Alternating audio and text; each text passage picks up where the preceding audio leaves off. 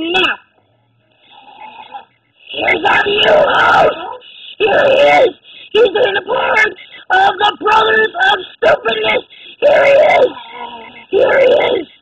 Here he is. Bobby, Ricky, and me. Well, we're going to have a lot more